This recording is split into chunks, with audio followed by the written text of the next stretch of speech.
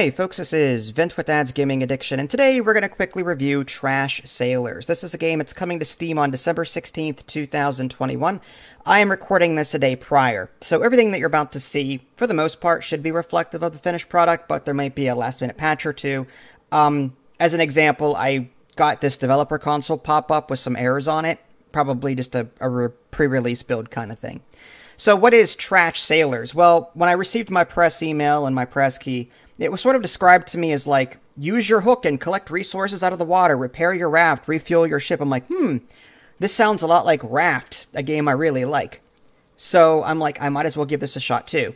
Well, it's interesting, um, but not what I expected. So there are two modes to this game. There's this single player slash cooperative story mode where you go to mission one, you complete it, mission two, complete it, and in these missions you go from point A to point B um, just constantly moving away from the camera, but you can steer left and right.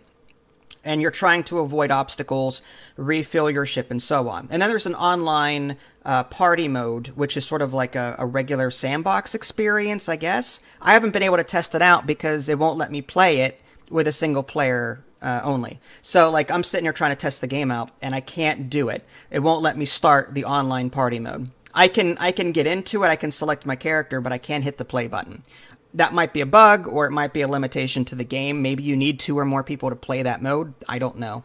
Um, so, what are you doing in this game? Well, again, on the story mode, based on what I've tested, you're thrown onto this raft and you're constantly moving forward. You get an AI bot if you're playing single player. This AI bot does not move around. You pick it up and put it somewhere.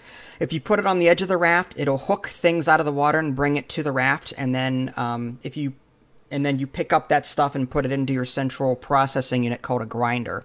Um, anyway, you can also pick up the bot, move it to the engine, and then you can use your left and right bumpers on your controller to steer. Controller recommended, of course.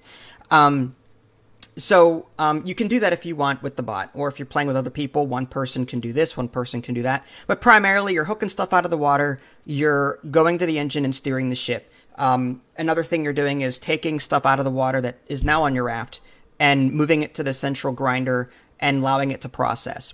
There is like a little slot machine esque diagram on the bottom that lists particular stuff that the grinder wants. So if you fill the grinder with those pieces of garbage, uh, those exact pieces of garbage, you get a bonus to the materials that it gives you, as well as some golden screws or whatever they're called.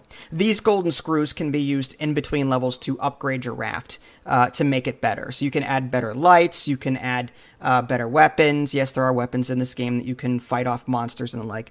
Um, but there are various upgrades that you can um, attach to your boat as you continue playing via these golden screws or whatever they're called. But primarily, the whole gist of it is you're just going from one level to the next as quickly as you can uh, by keeping the engine fueled. And again, that's via material. Hooking stuff out of the water in order to do that. Um, you'll also receive damage on occasion, like tugboats will run into your ship or whatnot. Um, you take material out of the grinder, the finished stuff, and you go to the raft part of the raft in question that's damaged, you interact with it, you repair it. Um, you can even replace lost pieces that way. And you may have to. Sometimes you'll be attacked by sharks or whatever.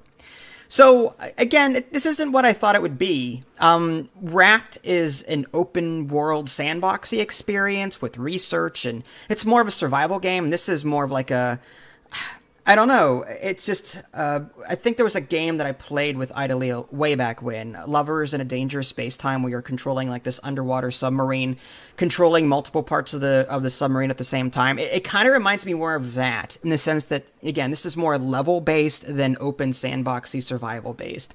So you need to keep that in mind before you decide to pick up this game. I feel like the, the balance is a bit off for single player. Like it's still very hectic. I think this game shines with more than, you know, two people or more as opposed to, you know, a single player trying to do all of this.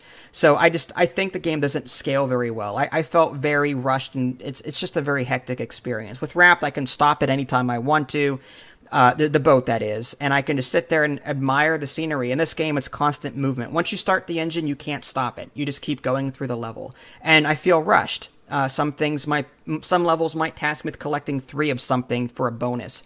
Well, if I'm busy doing other things, I'll never get it. So it's like, you know what I mean? It's just, I, I don't like being rushed. I don't like that point A to point B mentality of never being able to stop. I, I guess what I'm trying to say is I prefer Raft over this. That being said, if you like what you see here, then by all means pick it up.